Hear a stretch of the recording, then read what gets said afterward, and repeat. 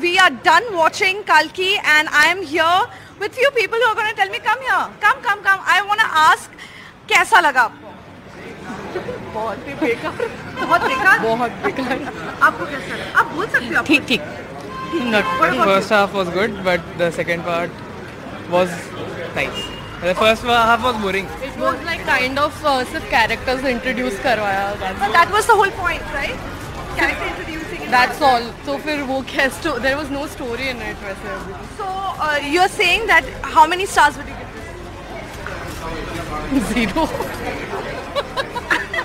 आपने enjoy किया कि नहीं? नहीं बिल्कुल नहीं किया the first half was very boring but second half was good I guess the next part will be good Yeah? You think the next part will be better? Thank you. Movies तो अच्छी थी ताकि अमिताभ बच्चन का role बहुत अच्छा था उसमें सबसे अच्छा बाकी अमिताभ बच्चन का सबसे अच्छा रोल था उसके। सबसे अच्छा रोल अमिताभ बच्चन का था मगर स्टार्टिंग में मूवी पूरी इंटरवल तो पूरी बोरिंग लग रही थी। उसके बाद इंटरवल के बाद जरा मूवी थोड़ी मतलब ऐसा लगा कि हाँ फिर लास्ट में खाली सस्पेंस उठ गया। मगर पूरा स्टार्टिंग में सिर्फ़ ऐसा मूवी ऐसा लग रहा है कि कुछ सस्पेंस है ही नहीं। सिर्फ़ इंटरवल के बाद हो रहा है। और प्रभास कैसा है कि सिर्फ़ बजट वाली मूवी ढूंढते थोड़ा उनको स्टोरी वाली मूवी जरा अच्छी दिखनी चाहिए करके। आपको क्या कहना है? तो आपको आपका पैसा वसूल हुआ कि नहीं? नहीं। थैंक यू आपका क्या कहना है? मैम सबसे अच्छा तो मेरे को सबसे अच्छा तो अमिताभ बच्चन का रोल लगा मेरे को। और दूसरी चीज़ें उसमें एक चीज़ फ़र्स्ट में समझ में आया कि पानी का बहुमूल्य उसमें क्षेत्र है। पानी का हमें सम्मान करें।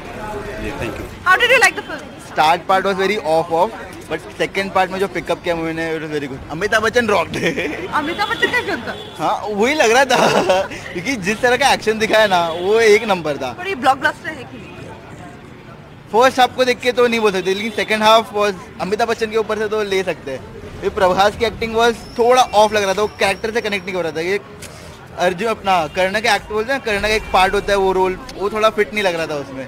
बाकी it was good thank you how did you like the film I love the movie and starting मुझे ऐसे लगा नहीं कि इतना अच्छा बिल्डअप होगा बाद में। तो स्टार्ट में ऐसा लग रहा था कि ठीक है इट्स एवरेज मूवी बट जब ये बिल्डअप हुई movie I just love it and whose character did you enjoy the most Amitabh Bachchan मतलब uh, उनके आने के बाद वो एक जो पावर है ना it's it's amazing it's amazing really thank you so much thank you so much